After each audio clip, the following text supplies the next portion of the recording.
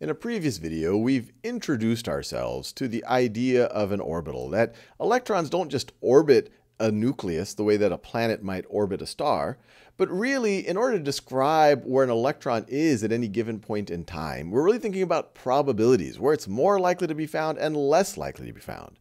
And an orbital is a description of that. Where is it more or less likely to be found? And this diagram shows us the types of orbitals which can be found in the various subshells which are found in the various shells.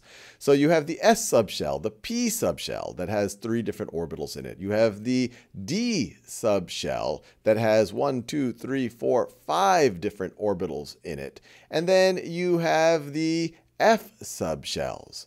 Now, each orbital can fit two electrons. So if you're thinking about the subshell, the S subshell can fit two electrons. The P subshell can fit six electrons. The D subshell can fit 10 electrons.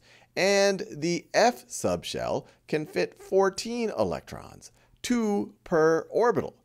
Now, the goal of this video is to think about electron configurations for particular atoms. And to help us with that, we will look at a periodic table of elements.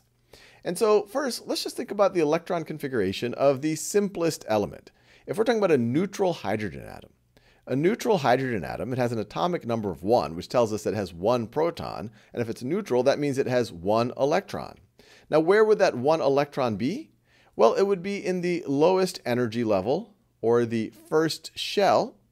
And that first shell has only one subshell in it.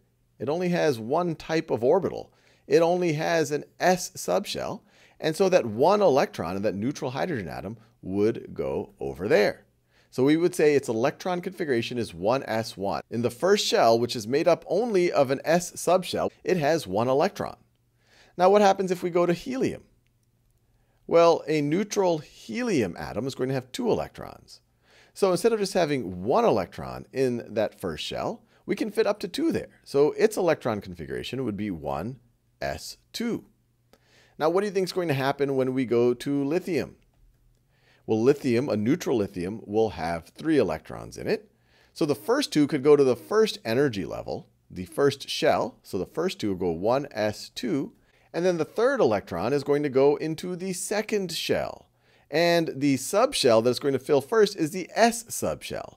So then it'll go to the second shell and start filling up the S subshell. So notice, two electrons in the first shell and one electron in the second shell. Now what about beryllium? Well, that's going to look a lot like lithium, but now it has four electrons. So two of them are going to go into the first shell, 1s2, and then the next two are going to fill up the S subshell in the second shell. I know it's a bit of a mouthful. 2s2. Notice we have two we have four total electrons, which would be the case in a neutral beryllium atom. But what about boron? Boron gets interesting. A neutral boron would have five electrons. So the first two are going to fill the first shell, 1s2. Now the second two are then going to go to the second shell and fill up the S subshell, 2s2. And then we're going to start filling up the P subshell. So let's see, we have one more electron, so we go 2p1. So you're going to have one electron in one of these p orbitals. And then what happens when we go to carbon? Well, it's going to look a lot like boron, but now we have one more electron to deal with if we have a neutral carbon atom. It's going to have six electrons. So that ele extra electron is once again going to fall into the p subshell in the second shell because that can fit six electrons. So we're going to fill the first shell with two electrons, then the 2s subshell with two electrons, and then we have two more electrons for the 2p subshell. Now you can imagine as we get to larger and larger atoms with more and more electrons, this can get quite complex.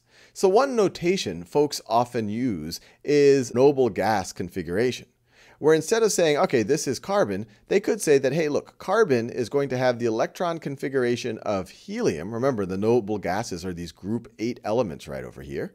So it's going to have the electron configuration of helium, which tells us this right over here. And then from that, we're going to also have 2s2, 2s2, and then 2p2. you could just take helium's electron configuration right over here and put it right over here, and you would get exactly what we wrote before.